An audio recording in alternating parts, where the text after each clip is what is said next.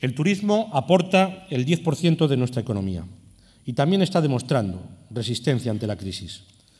Aunque los datos del año 2012 han sido de descenso en el número de viajeros y pernoctaciones en toda España y también en la comunidad, seguimos siendo líderes en turismo rural con el 22% del total de viajeros. El año pasado el empleo turístico y el número de autónomos del sector se mantuvieron y creció el número de los alojamientos hoteleros y los de turismo rural.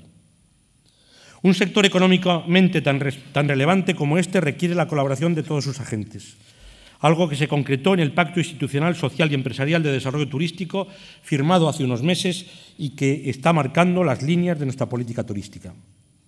A principios del próximo año aprobaremos el Plan Estratégico de Turismo 2014-2018, que pondrá el acento en la comercialización y promoción turística, la internacionalización y la calidad.